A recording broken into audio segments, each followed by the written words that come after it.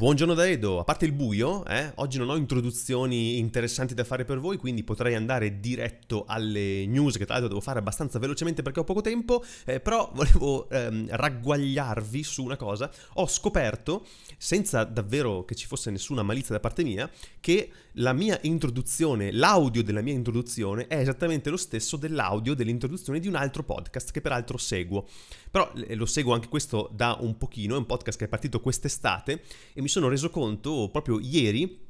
che l'audio, eh, che è un audio open source, eh, davvero della, della, mia introduzione e, e, e, di quest'altro podcast, è esattamente lo stesso. Non vi dico qual è l'altro podcast, se lo scoprite eh, scrivetemelo, vediamo se qualcuno segue, ha i miei stessi interessi e, e segue quest'altro podcast che magari si è accorto dell'assonanza. Ebbene, basta, andiamo alle news.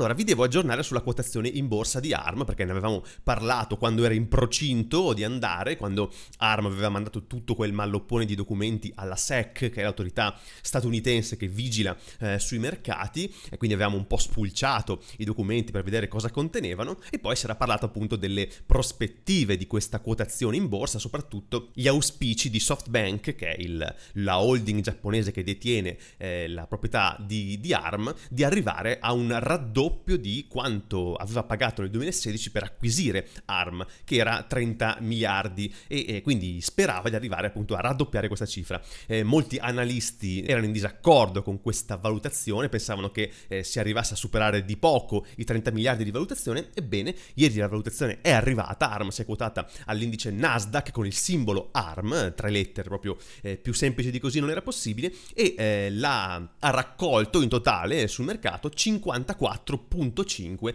miliardi di dollari. Quindi eh, aveva ragione SoftBank fondamentalmente, eh, anzi negli ultimi giorni le quotazioni, le idee di alcuni analisti erano, si erano spinte fino a 70 miliardi, eh, ebbene siamo, siamo, scesi un pochino, siamo a 54, però effettivamente è quasi il doppio di quanto SoftBank pagò eh, per acquisire ARM, quindi, quindi non male. E peraltro è più, è molto più dei 40 miliardi che Nvidia aveva offerto per acquisire ARM, poi l'acquisizione questione che eh, fallì perché poi si misero di mezzo le autorità per l'antitrust e bloccarono questa acquisizione. SoftBank manterrà comunque il 90% delle azioni di controllo di ARM, quindi ottima operazione per SoftBank eh, direi a livello economico e se volete approfondire quello che succederà da adesso in avanti c'è un bell'articolo su The Register che si chiama Post IPO ARM to Push Purpose Build Almost Processor allora, questo articolo, proprio uscito stamattina, eh, va un po' a spiegare quello che già avevamo detto eh, qualche tempo fa sui progetti di ARM per il processore eh, CSS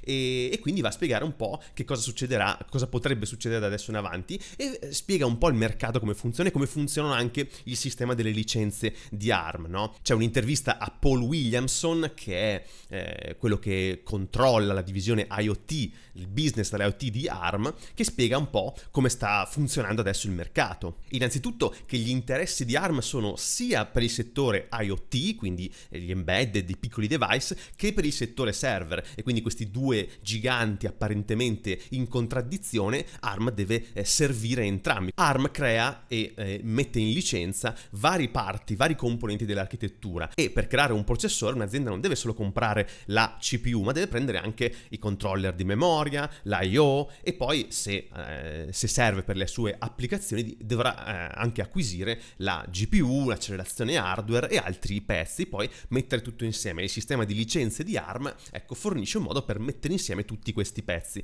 Ora, siccome questa, creare questa architettura sta diventando parecchio costoso, perché eh, se è lì che si concentra la maggior parte del mercato, ecco che ARM ha deciso di offrire un design completo, eh, diciamo out of the box, per crearsi eh, il processore e quindi inizierà proprio con CSS, il Compute Subsystem eh, con questi design completi di una CPU, con un'architettura completa. E comunque, conclude Williamson, l'architettura di ARM rimarrà aperta, cioè ARM offrirà questo design eh, all-in-one di processore, ma comunque i vendor saranno liberi di acquisire le singole parti e poi creare la propria architettura. Prosegue l'articolo con la minaccia, così viene chiamata, di RISC-V e ne avevamo parlato. RISC-V è un'architettura completamente open source ed è una vera minaccia per ARM soprattutto per due ragioni. La prima appunto che essendo open source la sua licenza è molto permissiva e quindi chiunque può scaricarsi i progetti e l'architettura, creare i propri chip e farci quello che vuole sul mercato senza pagare alcun costo di licenza a nessuna azienda perché dietro a RISC-V non c'è un'azienda. Questo è molto interessante soprattutto per gli produttori dei paesi emergenti. No? E l'altro eh, punto fondamentale è che RISC-V è molto personalizzabile, quindi eh, è, è molto piccolo, è un set di istruzioni piccolo, ha circa 50 istruzioni e può essere personalizzato e esteso a seconda del caso d'uso. È un'architettura che sta avendo molto successo e molta attrazione, è già utilizzata in microcontroller come quelli sugli hard disk e anche in, in acceleratori molto specifici come per esempio le TPU di Google e poi è usata per esempio da NASA nei, nei controller sui computer che, che, governano i razzi. E come dicevamo, paesi come Cina e India stanno scommettendo molto su RISC-V proprio per queste sue caratteristiche, per creare processori nel loro mercato interno. Inoltre sappiamo che Qualcomm ha investito molto eh, su questa architettura, Intel allo stesso modo sta investendo su RISC-V. E quindi in definitiva ARM mette in guardia gli investitori perché attenzione perché i nostri clienti clienti potrebbero decidere di utilizzare questa alternativa libera e open source invece dei nostri prodotti. E sicuramente RISC-V è una vera minaccia per arma, sia nella parte diciamo meno potente del mercato, nei dispositivi meno potenti, che magari in futuro anche in quella server, in quella cloud, in quella dove serve più potenza.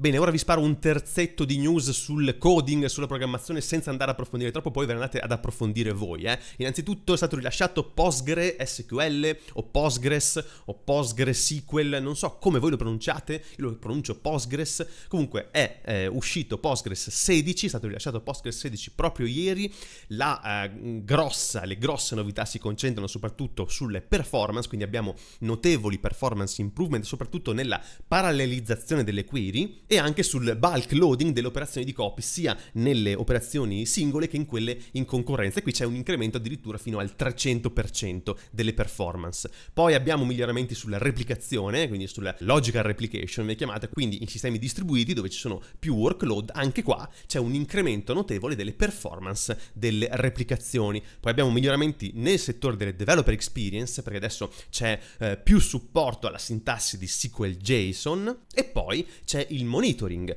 che è un aspetto cruciale naturalmente del funzionamento e del successo di Postgres in cloud, ebbene eh, Postgres adesso introduce nuove chiamate per avere metriche di I.O. e per fare analisi più granulari. E da Postgres passiamo velocemente a Rust perché JetBrains, che conoscerete, l'azienda che produce gli IDE più famosi per Java, per PHP, ma per il web, per quasi tutti i linguaggi, ha presentato due giorni fa Rust Rover, che è un IDE apposta 100% per Rust. Il Rust era disponibile come plugin per IntelliJ, un plugin open source che continuerà ad essere disponibile, però adesso hanno voluto confezionare un prodotto completo, che è credo il primo editor commerciale per Rust, si chiama Rust Rover, al momento è in early access, quindi è disponibile per un periodo eh, gratuito, quindi chiunque lo può scaricare e installare senza dover pagare a JetBrains, lo rimarrà fino circa a mm, settembre 2024, quindi per un annetto, e questa è insomma la notizia. E, ehm, eh, conclude il post dicendo che il plugin open source per IntelliJ e per gli altri editor JetBrains continuerà a rimanere, però da qua in avanti gli sforzi e le innovazioni saranno concentrati su Rust Rover. E parlando di Rust, concludo proprio con una segnalazione, è da poco stata rilasciata la versione 1.0 di PageFind, che è un motore di ricerca scritto in Rust, a cui si può dare in pasto una serie di documenti, di pagine statiche, quindi è ideale per indicizzare un sito web. Sul suo blog, pagefind.app, eh, va proprio a, parla parla proprio di ehm, Ugo, di Eleventy, di Jekyll, Next, Astro, SvelteKit, ma qualunque altro framework, cioè voi date in pasto a PageFind una cartella, la cartella che contiene le pagine statiche buildate di un sito, un, uno static site generator e eh, PageFind si occupa di indicizzarle e poi di darvi una API JavaScript per permettere di fare le ricerche. Peraltro arriva con una UI già pronta, se uno volesse utilizzarla, per proprio fare le ricerche. C'è, ci sono alcune demo, per esempio esempio c'è questa demo su MDN per chi sta guardando, a cui per esempio io cerco eh, transition ed ecco che mi va a cercare tutte le volte che la parola transition è presente nel, eh, nelle pagine di MDN. Infine, alert di sicurezza, aggiornamento di sicurezza molto importante che avevo un po' sottovalutato i giorni scorsi, invece pare eh, parecchio grave, eh, riguarda WebP, c'è una segnalazione fatta dal team di ricerca Citizen Lab dell'Università di Toronto che ha scoperto una grave falla nel, ehm, nel formato di immagine WebP creato da Google, no? LibWebP, che ormai è molto popolare su web, infatti tutti i browser lo supportano, ma lo supporta anche Electron e lo supportano quindi una marea di app che sono sono basate su Electron. Ebbene, questa vulnerabilità è la CVE 2023-4863 ed è una vulnerabilità di tipo buffer overflow. Peraltro, il team di ricerca ha scoperto che questa vulnerabilità è già attivamente sfruttata in the wild, così si dice, quindi eh, è già eh, in giro, è già in giro per il mondo. Google quindi ha aggiornato Chrome, adesso nel canale stable questa patch è già arrivata, quindi ha aggiornato contro questa vulnerabilità, Mozilla ha fatto lo stesso con Firefox e Thunderbird e così anche tutti gli altri browser basati su Chromium e a cascata arriveranno gli update per tutte le altre app. Per esempio,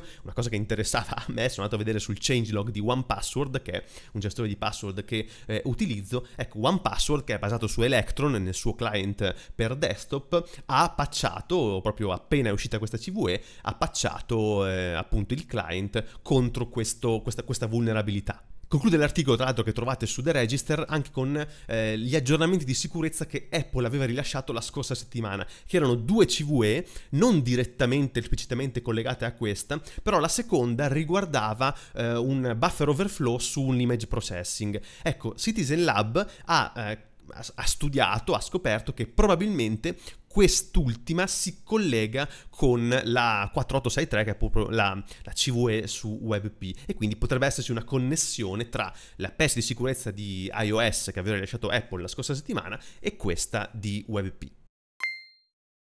Eccomi qua, ho finito, ho cercato di riassumere tanto perché avevo tante cose da dire, ma volevo essere abbastanza stringato, taglierò parecchio in questa puntata, spero di eh, farlo in tempi abbastanza brevi. Mm, non so se vi piace questo formato, ecco, questo modo di gestire le news un pochino meno approfondito, un pochino più lanciato, ma eh, insomma ci ho provato, devo fare un po' di esperimenti. Comunque sono stato abbastanza bravo questa settimana, no? Quattro puntate di fila, ottimo. Bravissimo Edo, quindi io vi auguro un buon weekend, vi ringrazio di avermi seguito e noi ci vediamo la prossima settimana. Ciao!